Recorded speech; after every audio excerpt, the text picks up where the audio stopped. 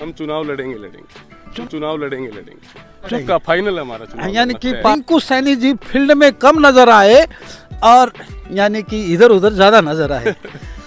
कहा यानी कि भूमिगत ज़्यादा नज़र आए क्या? है बंसल जी चाहिए जनता मेरी टिकट भी है। अच्छा। एक इंग्लिश का वर्ड है काल्पनिक क्वेश्चन हो सकता है। बंसल जी इंग्लिश में मेरा आतंक है इंग्लिश नहीं, में मैं- मैं उसकी हिंदी- हिंदी कर रहा हूँ। हिंदी में बताओ मेरे हाँ, को। काल नमस्कार मैं राजीव बंसल आप देख रहे हैं हाँसी की आवाज़। हाँसी एक हिस्टोरिकल शहर है, ऐतिहासिक शहर है। वो ऐतिहासिक शहर क्यों है कि हम खड़े हैं ऐतिहासिक किले पर? यानी कि पृथ्वीराज चौहान की पृष्ठभूमि का यह किला अपने आप में हाँसी को ऐतिहासिक बनाता है। और इस ऐतिहासिक शहर को, यानी कि पूरे प्रदेश का सबसे ज़्यादा बड़ा हिस्टोरिकल शहर कहलाता है हाँसी, और इसकी शान आन बान ये जो हम किले की पृष्ठभूमि दिखा रहे हैं। ये अपने आप में और ज़्यादा इसको आर्कोलॉजिकल पूरा तत्व शहर बनाता है। एक ज़माने में हाँसी पूरे प्रदेश का सबसे बड़ा सब डिवीज़न हुआ करता था। अब इसे ज़िले की दरकार है। आइए दिखाते हैं किले के ऊपर। क्या क्या नायाब तोहफे मिलते हैं यहाँ देखने को? पर्यटन आते हैं यहाँ पर। यहाँ पर टूरिस्ट आते हैं। और क्या नया आता है इस किले में? तो आपको दिखाते हैं। हम एंटर कर रहे हैं किले के मुख्य द्वार पर। हैं किले पे क्या क्या मिलते हैं। तो यहाँ टहलने के लिए सैलानी आते हैं, पर्यटक आते हैं, टूरिस्ट आते हैं और किले की आबो हवा को शुद्ध आबो हवा लेने भी आते हैं। आज हमारे साथ बाई चांस मिल गए हैं हमें रिंकू सैनी जी। रिंकू सैनी जी के बारे में बता दूँ कि रिंकू सैनी जी पूर्व में पार्षद रहे, वार्ड नंबर 25 से, और चेयरमैन प्रतिनिधि हैं आप। आपका अनायास हमसे मुलाकात हुई है।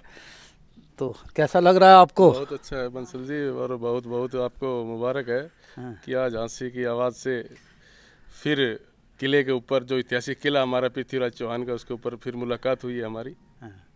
और सभी जितने भी आपके दर्शक हैं। चलो अब मुलाकात हो ही गई है तो दो बात कर ही लेते हैं रिंकू सैनी जी से।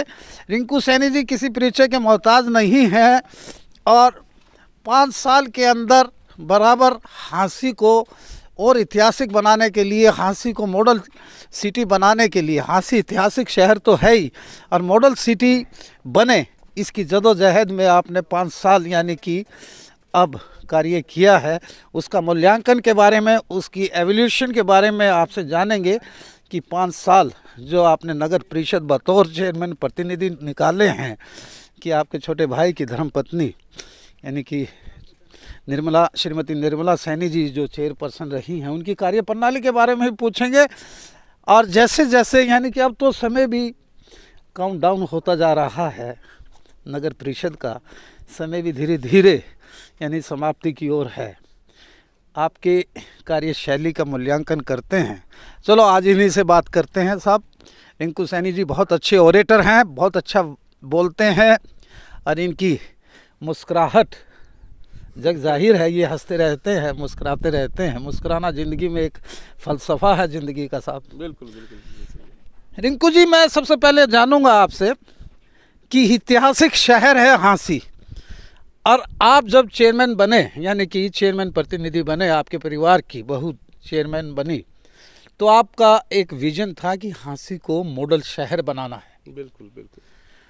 तो कितने यानी कि उस मॉडल शहर बनाने में कितना खरा उतरे हैं। और आपसे क्रॉस क्वेश्चनिंग करूँगा मैं आप बताएँगे तो उसको मैं काटूं भी गा तो सबसे पहले बंसल जी मैं बता दूँ कि हादसे की आवाज़ के जितने भी दर्शक हैं हम्म, सभी का धन्यवाद करना चाहूँगा। हम्म, और हमारी जो सोच थी जो हमने सोच के साथ हाँसी शहर का विकास किया हम्म, और हम हमारी करनी और कथनी में कोई अंतर नहीं रहा। हमने जितने भी काम अपने दिमाग के अंदर थे जो। हमारी सोच थी उसके प्रति हमने शहर के विकास किए हैं। और आप सभी देख भी रहे होंगे और हर दिन आता भी है आम जनता से आपने फीडबैक भी ली है हम्म। और सभी पार्षदों से भी आपने फीडबैक लिए कि अपने अपने वार्डों में सभी पार्षदों ने काम करवाए हैं। नहीं फीडबैक मैंने बहुत ली है। फीडबैक एक मैंने ली है कि आपने सवा सौ करोड़ के लगभग यानी कि आपने नहीं नगर परिषद में जो ग्रांट आई सवा सौ करोड़ के लगभग आई है और शहर में लगा भी है। लेकिन धरातल पर कितना लगा है उसके बारे में आपसे ही जानेंगे। हमारे पास प्रतिक्रिया हर तरह की आती है कि भी सवा सौ करोड़ लगता नहीं कि लगा है लगा है तो इसका यूटिलाइजेशन प्रॉपर हुआ है या नहीं हुआ है? ये सारा मूल्यांकन आप कीजिएगा। विकास हुआ है जो पैसा लगा है शहर के अंदर हाँ। वो दिख भी रहा है हाँ। और आप देख भी रहे हैं कि शहर के अंदर कितना विकास हो आज आप किसी भी पार्षद से बात करोगे अपने अपने वार्डों में हम्म। कि उनसे पूछो पार्षदों से कि क्या आपके वार्ड में विकास हुआ? हम्म। वो आपको बताएँगे विकास हुआ या नहीं हुआ या उन वार्ड की जनता से भी आप फीडबैक ले सकते हो। मुझे पाँच काम गिनाइए जो आपने बेहतरीन करवाए हैं। साईं बाबा रोड लो। जी। अच्छी बात अच्छी बात है अच्छी बात रेलवे स्टेशन से जुड़ता है जो बहुत बढ़िया नीड थी डायर नीड थी भगत सिंह रोड लो। हम्म। नेहरू कॉलेज रोड लो पटेल नगर से लेकर के नेहरू कॉलेज रोड लो आप। और बहुत से काम ऐसे हैं जो हमने जो जनता की किसी की सोच भी नहीं थी। हमने सोच के प्रति शहर का विकास किया बहुत काम किए हमने। कितने काम गिनाए आपको चाहे लाइटों का मामला लो अच्छा। चाहे सड़कों का लो आप हम्म। चाहे पार्क की रेनोवेशन का लो या नए पार्क बनाने का लो। हमने नए पार्क भी बनाए हैं काफ़ी निर्माण किया है पार्कों का सर आपने नए पार्क बना दिए। पार्क की तो नेटवर्किंग पूरे शहर के अंदर बहुत नए पार्क बनाए और आपने एक ऐसी जगह पार्क बनाया जहाँ गंदगी का आलम हुआ करता था। वो मेरे ख्याल रूपनगर कॉलोनी की तरफ़ है। मंडी सैनियन है। और उसमें और शहर के अंदर हमने कम्युनिटी सेंटर भी बनाया जिनका काम भी आज भी निर्माण चला हुआ है कम्युनिटी सेंटर का। लेकिन लोगों में आज भी और जो खेल प्रेमियों में आज भी एक गिला शिकवा है नगर परिषद के प्रति कि भी पार्कों का तो आपने नेटवर्क बना दिया वहाँ आपने जिम्स भी लगा दिए झूले भी लगा दिए। लेकिन जो सबसे बड़ी ज़रूरत थी स्टेडियम की वो स्टेडियम आज तक नहीं बन पाया और वो शुरू में मैंने आपका इंटरव्यू लिया था कि भी बंसल जी हमारा विजन में है हाँसी में स्टेडियम नहीं है स्टेडियम बनाना वो बिल्कुल नहीं बना ऐसा है वो स्टेडियम जो है वो हमारे विजन में आज भी है हम्म। और युवा पीढ़ी की ओर हमारा ध्यान भी है और हम हमारे दिमाग में दो लाइब्रेरी बनाने की भी है कि दो लाइब्रेरी ऐसी हम्म। बनाए ऐतिहासिक लाइब्रेरी बनाए हाँसी के अंदर दो हम्म। ताकि जितने भी छात्र छात्राएँ हैं उनके अंदर लाइब्रेरी के अंदर बड़ी अच्छी अच्छी पुस्तकें पढ़ें एक मॉडल सिटी लाइब्रेरी बनाने की हमारे दिल और दिमाग में भी है और युवा पीढ़ी के लिए एक स्टेडियम भी होना चाहिए जिनसे उनके स्वास्थ्य ठीक रहे कोच भी होना चाहिए ये चूक रही ना आपसे इस चूक को मानेंगे चूक नहीं है ये तो चूक नहीं ये हम करवाएँगे विधायक से भी हमने हम्म। बात की है और जल्द विधायक जी से कहेंगे और हम्म। विधायक जी जो है जिला बनाने के लिए। बड़े वो है कि हाँसी जल्दी जिला बने सीएम साहब से कह करके जिला बनवाएँगे और जब जिला बनेगा सारी फैसिलिटी हाँसी के अंदर आएगी। कॉलेज स्टेडियम फैक्ट्री इंडस्ट्री सारा काम हो जाएगा। हाँ। हमारे विधायक जी लगे हुए हैं जिला के लिए। विधायक जी जिला के लिए लगे हुए हैं और स्टेडियम की बात आपने मुझे दरकिनार कर दी। चलो मैं टॉपिक बदल के दूसरी बात पे आता हूँ। समय बड़ी रफ्तार से चल रहा है। जी। मई में आपका कार्यकाल भी पूरा हो जाएगा नगर परिषद का। है नए सिरे से चुनाव होंगे। और उसमें आप बतौर बीजेपी आप यहाँ चेयरमैन भी हैं पद पे भी हैं निर्मला सैनी जी आप चेयरमैन प्रतिनिधि हैं। तो कितने अस्वस्थ हैं कि भी आप चुनाव लड़ेंगे? और आप ही को टिकट मिले? और आपको टिकट क्यों मिले? ऐसे हम सबसे बड़ी बात तो ये कि हम पार्टी के सिपाही हैं। अच्छा। भारतीय जनता पार्टी के सिपाही हैं। और हमने भारतीय जनता पार्टी की जो आ, वो थी सिस्टम था हाँ। जो इनकी योजनाएँ थे उनके प्रति हमने पूरा शहर का विकास किया है हम्म। सबका साथ सबका विकास और बिना भेदभाव के सताइस के सताइस वार्डों में हमने काम किया है हम्म। चाहे शहर का मेन रोड का मामला हो चाहे गलियों का मामला हो और हमने जैसे जैसे जो भी जितने भी काम किए हैं सभी को साथ लेकर के काम किए मैं आपके काम की तारीफ़ करता हूँ लेकिन एक जगह आपको मैं थोड़ा सा आपकी यादाश्त ताज़ा भी करना चाहता हूँ आपने रोड बनवाई बहुत अच्छी बनवाई। मैंने देखा खुद कि उसमें मसाला भी बहुत था और था। और पब्लिक हेल्थ ने उसको तोड़ के तुरंत प्रभाव से तोड़ के फिर खोद डाला। तो ये कोऑर्डिनेशन नगर परिषद के अधिकारियों का और पब्लिक हेल्थ का जिसमें आपको भी देखना होता है चेयरपर्सन को भी देखना होता है बता देता ये ऐसा क्यों है? ये पैसा बर्बादी का आलम है मैं आपको बता दूँ उन्होंने हमारे बिना पूछे जो सड़क पाड़ी थी जो पाइपलाइन हाँ। अगर वो कट मारते हाँ। तो ज़्यादा नुकसान नहीं होता। उन्होंने जेसीपी लेकर के रोड पाड़ दिया वो सारा सारा कटिंग नहीं की रोड की। और न ही हमारे से कोई पूछा गया न हम्म। कोई नगर परिषद से उन्होंने कोई परमिशन ली हम्म। हमने तुरंत प्रभाव से उन अधिकारियों के खिलाफ ठेकेदार के खिलाफ एफ़ लॉन्च करवा दी थी बराबर आरोप लगते और उन्हीं को कह दिया कि जल्दी इनको सड़क को ठीक कराओ हम्म। नहीं तो उस पर जो भी एफ़ आई लॉज हुई उस पर कार्रवाई भी होगी विधायक महोदय जी जाते हैं फ़ंक्शन में जाते हैं धार्मिक फ़ंक्शन में जाते हैं जगराते में जाते हैं और यानी कि आप बहुत अस्वस्थ हैं टिकट के लिए भी बीजेपी के सिंबल पे लड़ने के लिए। वो पीठ थपथपाते हैं एक ऐसे शख्सियत की जो बहुत बड़ा इंडस्ट्रियलिस्ट है कि भी ये बहुत बढ़िया कार्य करता है और बहुत बढ़िया और इसको जितवाइए और है। तो आप कहाँ स्टैंड करते हैं बीजेपी के सिंबल पर लड़ने के लिए? बंसल जी मैं आपको बता दूँ कि हासी की जनता वो हमारे पर विश्वास करती है। अच्छा। क्योंकि उन लोगों को पता है कि हम उनके बीच में रहे हैं पाँच साल तक। और पाँच साल तक बीच में ही नहीं रहे। हमने उनके दुख सुख के साथी भी रहे हैं। अच्छा। आना जाना उनके बीच में रहना चाहे उनका किसी प्रकार का भी नगर परिषद से रिलेटेड कोई भी काम हो और जो भी हमारे से सेवा बन पाई उन लोगों की हमने की है और करते रहेंगे। रिंकू सैनी जी आप बोलते बहुत अच्छा हैं। आपके भाई हैं छोटे विनोद जी वो भी बड़े विनम्र स्वभाव के हैं। लेकिन पाँच साल के दौरान यानी साढ़े चार साल हो गए हैं रिंकू सैनी जी फ़ील्ड में कम नज़र आए और यानी कि इधर उधर ज़्यादा नज़र आए। कहाँ यानी कि भूमिगत ज़्यादा नज़र आए क्या? नहीं, बंसल जी मैं भूमिगत नहीं रहा मैं लेकिन आपका कद बहुत ऊँचा है। मैं पब्लिक के बीच में ही रहा हूँ। लेकिन हमें नज़र नहीं आए भाई सब ऐसा कोई शहर की गलियाँ ऐसी नहीं है जिससे मैं मोटरसाइकिल पे रोड नहीं नाप देता। हाँ। सारी सड़कों पे घूमना मेरा काम है। और जहाँ जो भी मेरे साथी है जो हमारे हाँ। बुज़ुर्ग है जो हमारे भाई हैं जो हमारे साथी हैं उनसे सभी से मिलना जुलना मेरा कंटिन्यू आज तक चलता ही रहा है और चलता रहेगा। सर बड़े आरोप लगते हैं कि सवा सौ करोड़ की ग्रांट आई और वो ग्रांट का यूटिलाइजेशन प्रॉपर नहीं हुआ।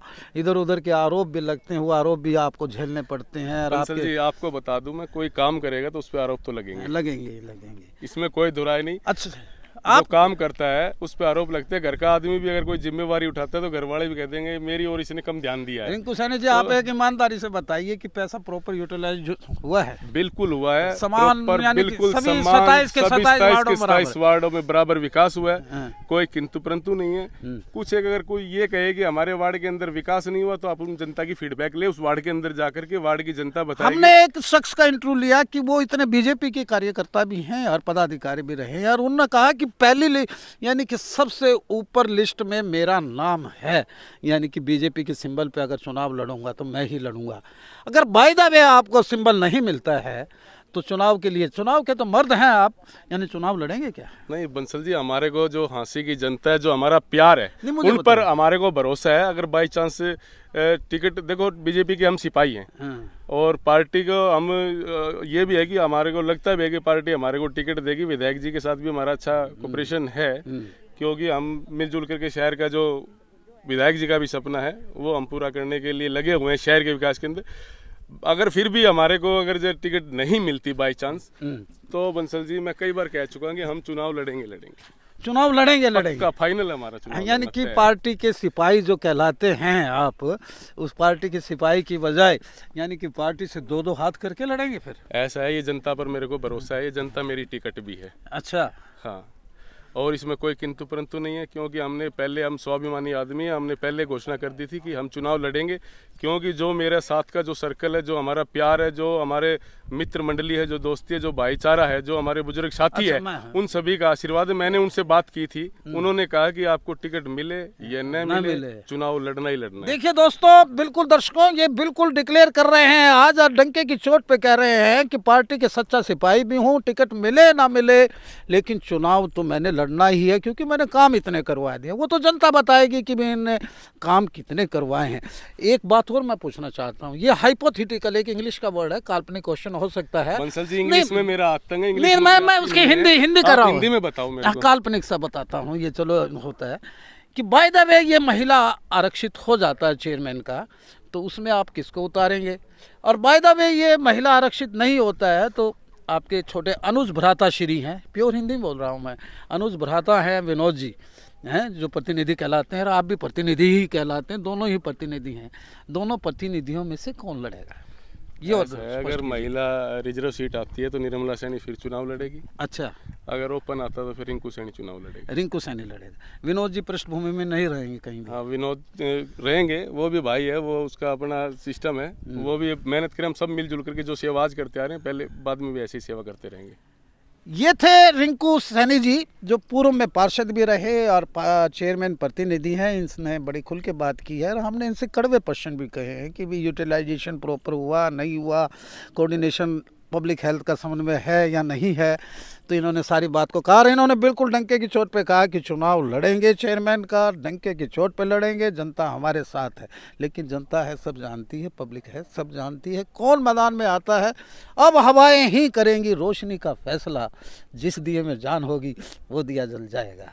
रिंकू जी आज आप हमारे चैनल पर आए और आपने हमारे चैनल को गुलजार किया आपकी मुस्कुराहट को देखते हुए हमें यह लग रहा है कि आप बड़े अस्वस्थ हैं हाँसी की बुद्धि को लेकर और विकास को लेकर लेकिन स्टेडियम ज़रूर बनवाइएगा बिल्कुल स्टेडियम युवाओं के लिए प्राथमिकता रहेगी ये बनवाएँगे युवाओं के लिए स्टेडियम होगा हम्म। और दो लाइब्रेरी बहुत ज़रूरी है हाँसी के अंदर हम्म। और जो भी हाँसी का जो सोच है हम्म। जो हम क्योंकि जनता की अपेक्षाओं को मद्देनजर रखते हुए हमने चुनावी बिसात- और उसी तरीके से चुनावी बिसात बिछ चुकी है। देखते हैं ऊँट किस करवट बैठता है। इन्होंने कह दिया है कि मैं चुनाव लड़ूँगा ही लड़ूँगा। देखते रहिए हाँसी की आवाज़। इस वायदे के साथ जा रहा हूँ कि फिर मिलता हूँ एक ऐसी ही शख्सियत से रूबरू करवाने के लिए। मैं मेरे रिपोर्टर रवि सैनी के साथ एडिटर अजय सैनी के साथ। फिर मिलवा